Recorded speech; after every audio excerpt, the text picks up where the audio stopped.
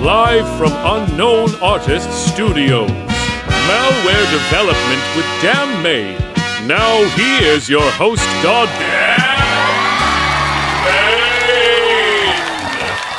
Yo, what's good? What's good? This is Dan May. We in the house. How we feeling, crowd out there? Y'all doing good?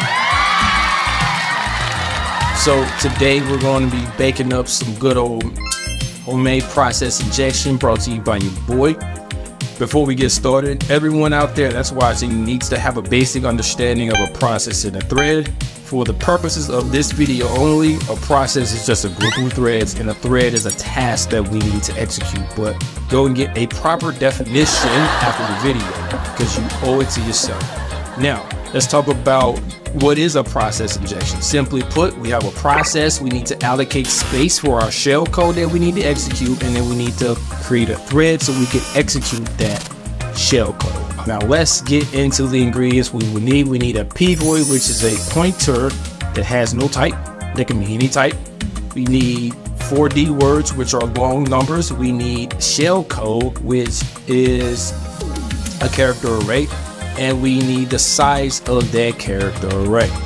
Now, for the API calls, we will be using open process virtual AlecX write memory, write process memory, and create remote thread X. All of these can be hooked, so we're going to piss Windows Defender off here, I know. But that's all it's all good because if you stick around and you like and subscribe to the video and the channel, you will see me evade the fists in the future. You're gonna learn a lot of cool shit. So let's get straight into the code. So as you see, we already have some things set up from Crow's video on process injection. If you're not subscribed to him, go ahead and subscribe and actually watch his video as well. He gets in better depth than I do with this stuff. So the first thing that we want to do is we want to go ahead and declare our p void for allocated memory space. Next, we want to declare our D words for victim process IDs and victim thread ID, as well as our handles for our victim process handle and our victim thread handle.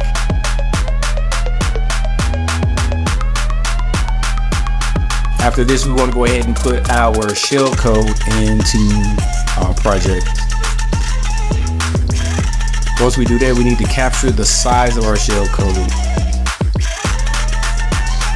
After we do this, we need to error check to ensure that the user uses our tool correctly.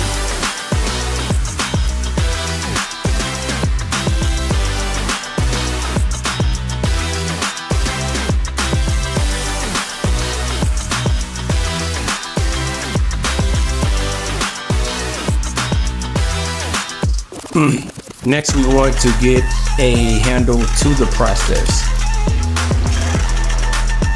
We want to error check to make sure that there is a handle to get.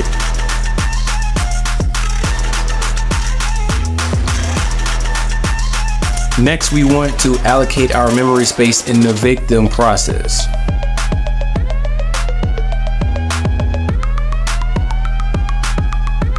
This will flag on Windows Defender, just FYI. So you know, we need to turn that off.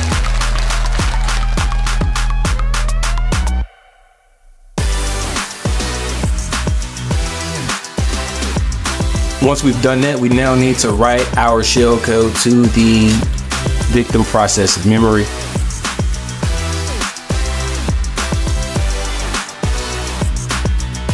Then we need to get a victim thread handle.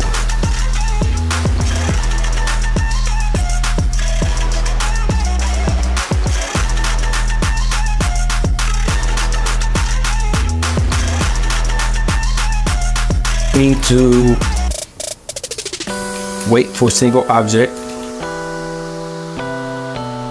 And then finally, we need to close the handles for the victim thread and the victim process.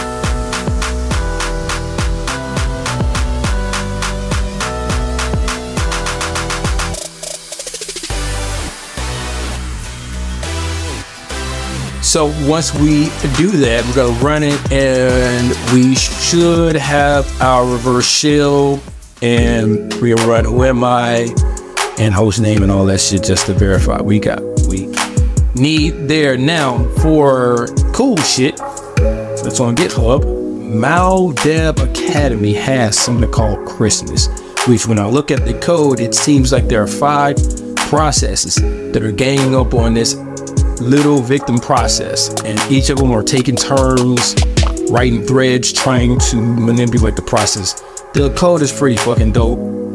It goes to show you that in the MalDev realm, this this field that we're in, by the way, I'm super new to, there's a lot of room for, cre for creativity, which is why I got into it, and I don't think I'm letting go, at least no time soon. Shout out to Crow and his YouTube channel. If you're not subscribed, go over there and subscribe. You'll see that he has a process injection video as well. I took pretty much everything that he was talking in that video and put it into this video.